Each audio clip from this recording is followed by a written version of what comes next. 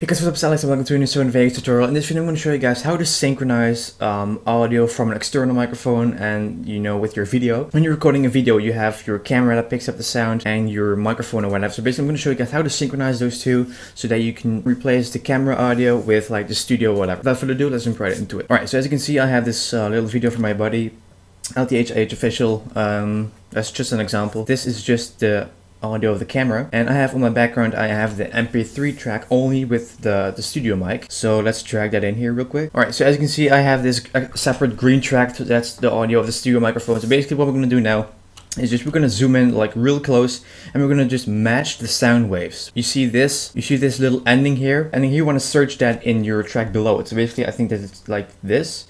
So if you synchronize it like this and we can zoom in really to just show you guys. Synced like this. And basically when you have it wrong, not synchronized, it sounds like this. It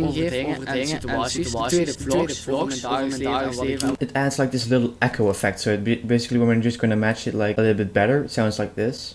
You know, that's like almost there.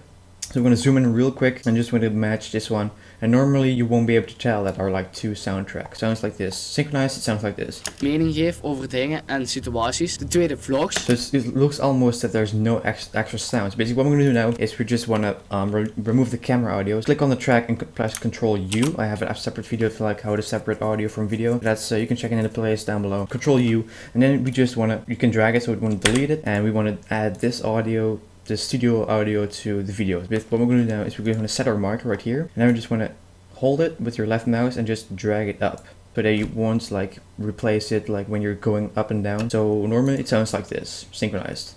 Mijn kanaal in de toekomst, waarin ik mijn mening geef over dingen. It's Dutch, you won't be able to understand anything, but you can see just for the um, example that it's like synchronized. So it's, it's actually looking quite well. So basically that's how you synchronize your video and audio separately.